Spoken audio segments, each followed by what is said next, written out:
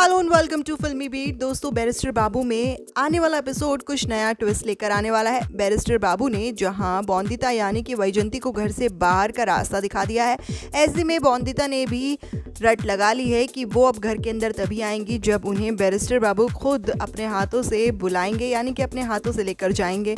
ऐसे में वो घर के बाहर खड़े होकर दो का पहाड़ा बोलती रहती हैं और बैरिस्टर बाबू कहते हैं कि वो यहाँ पढ़ने नहीं आई हैं और कुछ और ही करने आई हैं। वो यहाँ पढ़ाई में बिल्कुल भी दिमाग नहीं लगा रही हैं, जिसके चलते बैरिस्टर बाबू घर वालों को उनके खिलाफ भड़काते हैं।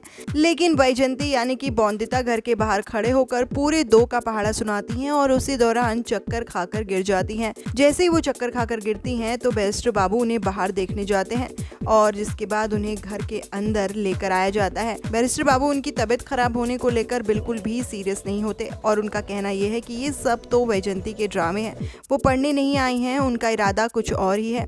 हालाँकि उनका इरादा वो समझ चुके हैं और वो इस बात को भाप भी चुके हैं कि वैजंती उनके लिए कुछ खास है।